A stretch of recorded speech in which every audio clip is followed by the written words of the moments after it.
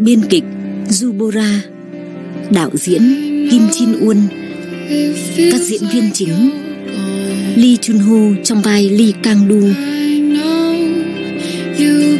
Uon Chin A trong vai Ha Mun Su,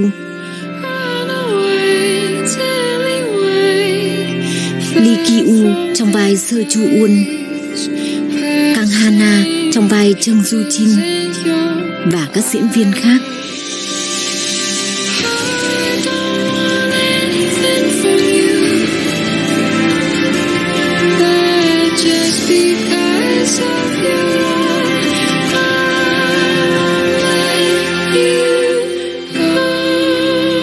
Bộ phim Dẫu mưa hay nắng.